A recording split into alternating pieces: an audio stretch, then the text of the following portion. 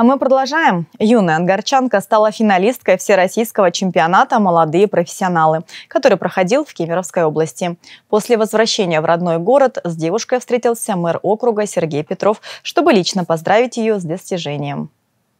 Глава округа принимает у себя финалисты всероссийского этапа чемпионата «Молодые профессионалы». Диане Макаренко 15 лет, но несмотря на юный возраст, она сумела освоить компетенцию неразрушающий контроль, тестирование качества оборудования и зданий. Профессия мужская, но талантливая школьница легких путей не ищет. Я могу как и книжки читать и по-русскому у меня хорошо, как и математики, и физику, у меня все хорошо. Я, мне, мне с детства говорили, что я универсальный солдат, я могу быть как гуманитарием, так и инженером. Подготовка Подготовка к чемпионату длилась почти полгода. На базе Ангарского индустриального техникума были организованы специальные курсы, где ребятам на практике объяснили все тонкости компетенции неразрушающий контроль. От специалистов такой профессии напрямую зависит качество и надежность технического оборудования. Дело в том, что э, в этом году в ну, сетке чемпионатов вот именно юниорское движение по этой компетенции было представлено э, впервые.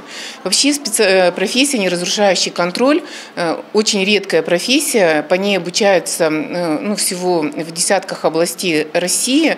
Она очень редкая, она входит в топ-50 профессий, востребованных ну, вообще по России в целом. Промышленному городу нужны молодые специалисты, и руководство округа всегда поддерживает все образовательные мероприятия. Вот и участие ангарских ребят на чемпионате молодых профессионалов было частично профинансировано из именного фонда Сергея Петрова. Кристина Пермякова, Олег Левченко. Местное время.